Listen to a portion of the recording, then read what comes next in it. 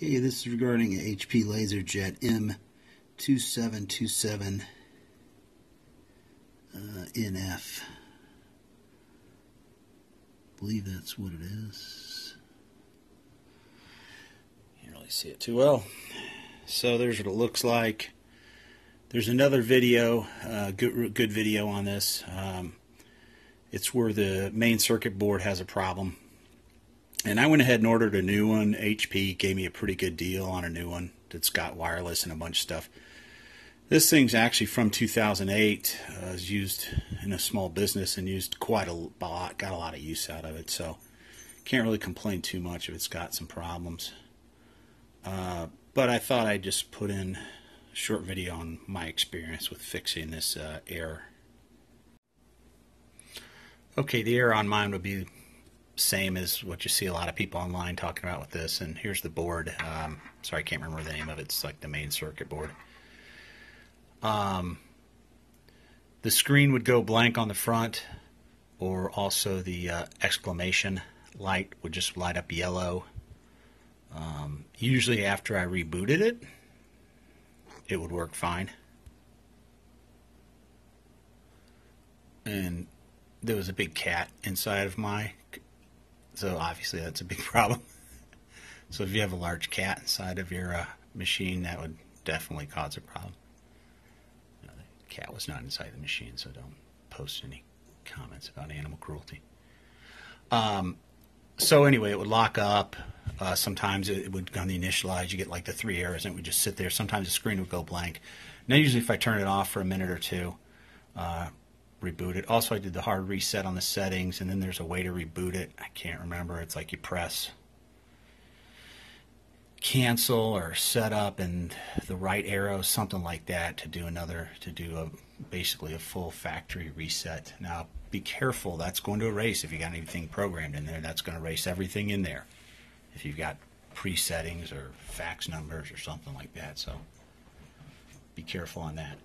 Um, so on the other video, a couple notes is the guy turned his uh, unit sideways like this.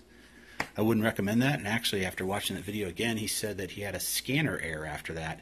And it's possible that the scanner slid all the way down or something like that. I don't know exactly how this scanner, if that scanner has a a tray in there or it scans across a roller here, but that, I don't know, maybe not do that. Um, the other thing is he baked this with this side up, thinking that the solder would get in there when I think actually the all the solder between these connections is on the other side. So I think I'm going to bake it with the other side up. Again, I bought another one from Hewlett Packard uh, directly. They gave me a good deal on it. They shipped it to me for free. It was here two days later. I was really happy with their service. I mean, it was a few bucks cheaper probably than what I could have got it at a local store here, but um, Main thing is they shipped it free. Um, and they also gave me a packing slip if I wanted to ship this one back for recycling, I can. If I can get this thing working, I'll probably just sell it for a few bucks. Um, now, I'll disclose to somebody it's got problems, but again, for light home use, it's still a, a good unit, works fine. It'd be a little problematic in a business to have to turn it off and on all the time. So I'm going to remove this. Uh, you got to remove these items here. These uh, wire connectors, so gently pull those all, and then there's uh, six screws. Then we're time to bake it for 350 degrees at eight minutes. They said also to make sure. I'm again, just my opinion. It's just my opinion. If you're don't don't take my advice on this. Uh, call a factory service technician if you want to read about it, or, or send it back to Hewlett Packard or whatever get a new one. Because um, again, if this thing totally craps out, I don't care. I'll just ship it back to HP with the free shipping they gave me. Um, have the oven totally preheated.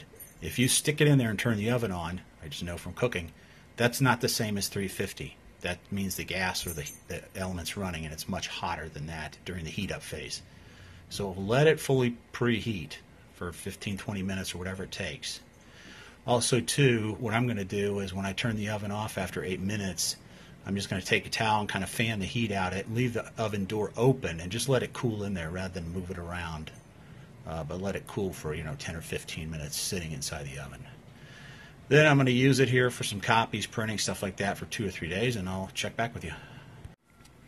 Uh, I forgot to mention this. Um,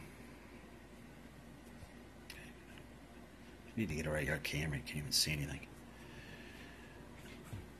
Um, on this, I, I took it loose from this. So first off, I rolled a roll a towel or something else underneath there, and you know, lift get the thing lifted up off the ground. Put it back a little bit. You don't want it sitting on this edge. Obviously, you want this edge free. So what I did here is I had a uh, had what's called a trim tool from an auto thing. I can't find it, so trim tool would actually be perfect. So you want to just gently pry. I pried right in this area here. Got this to come out a little bit, and then you pull it out. You pull it out like that, and then I just used a screwdriver here. Don't do it on the front side because those pieces are loose, so you can't get any leverage. You're just moving other parts around. So you need to do it on this side. And you can see this is all hard right there. So, um, so I just kind of pried this pried this back a little bit, and then got my fingers in there, and then just pull this this edge out like that, and then it worked. It, the whole thing just this side just popped out. So that's the way to get it loose.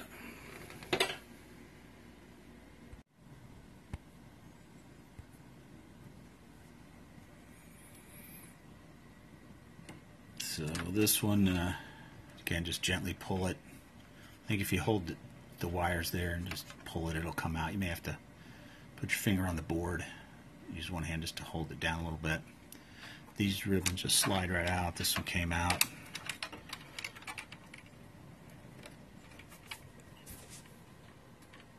That ribbon slides right up.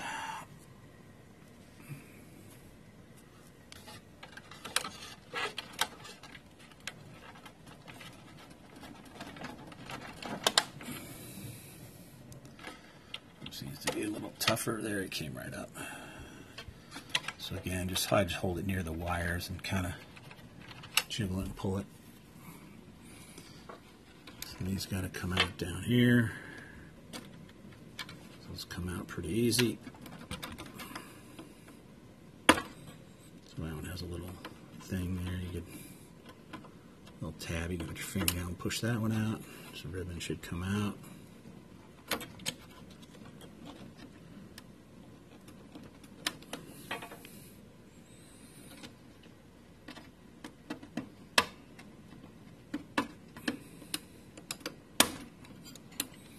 Oops, looks like I broke that one. Anyway, yeah, I guess I kind of broke that thing.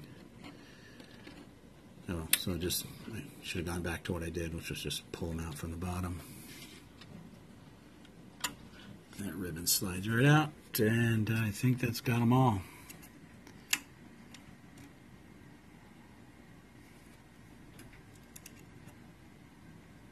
Here, here, here, here, here. And here's the screws.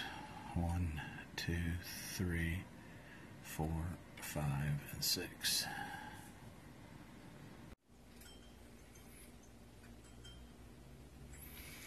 Okay, a couple things. Uh, board's back in place.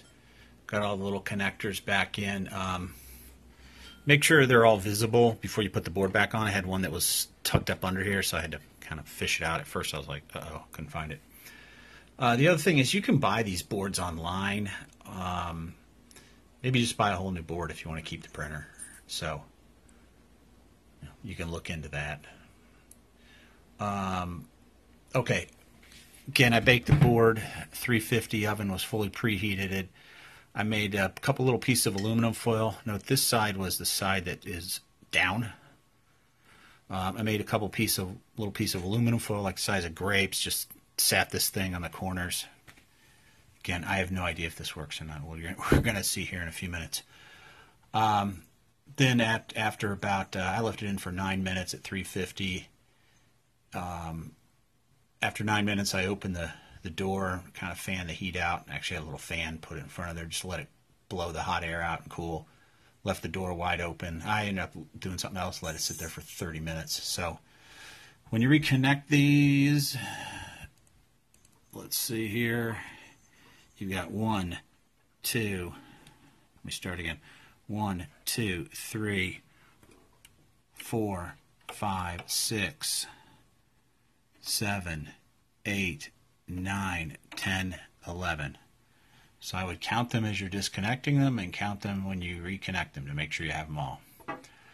I'm going to put the side panel back on because basically if this doesn't work again, I'm going to ship it back to HP or just donate it or uh, either donate it, sell it for a few bucks or sell it back or ship it back to HP if it doesn't work.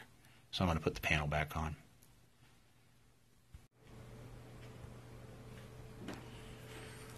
Okay, so here's the test. Also, real quick, this button, I don't use this thing a lot, so this thing was really sticking. It's working good now. But it was really sticking, so I sprayed some uh, contact cleaner on it. It's, it's got a little bit of lubricant cleaning to it. I didn't want to spray WD-40 or anything in there. I guess you could if you were careful. If you open it up and spritz some in there. So anyway,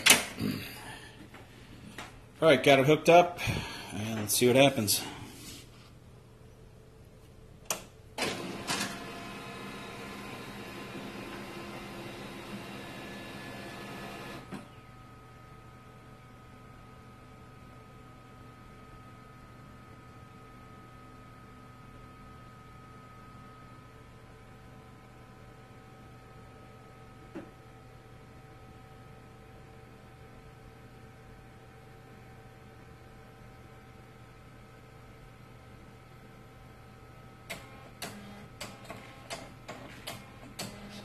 Time.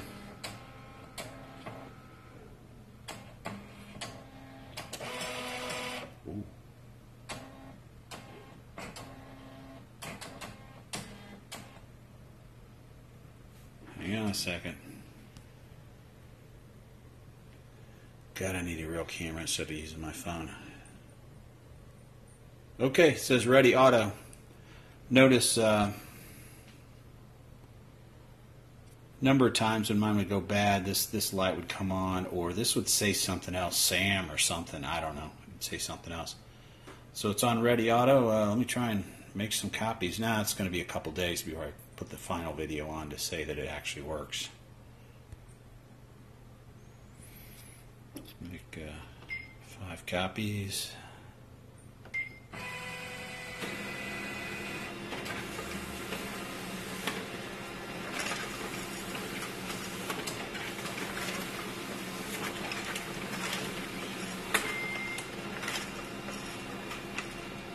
course, I'm out of paper. All right, well, looks like that it's working at least for now.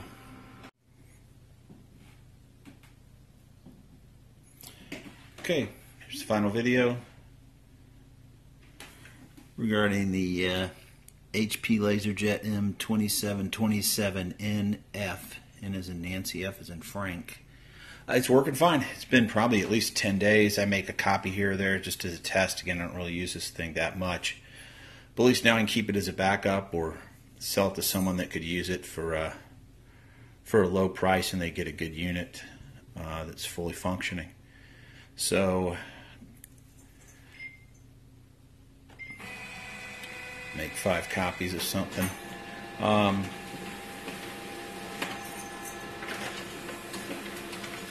yeah, the the uh, light here is never turned off. Never had any error messages. Never had to reboot it. I check it every you know two or three days and make a couple copies. And um, seems like it's uh, seems like it's cured at this point. Previously, again, that it would turn off every two or three days, if not every day. Uh, that it would just the screen would just go blank, and again you'd turn it on and off, and it would uh, it'd be okay. So that's the end of the series regarding this printer. Thank you.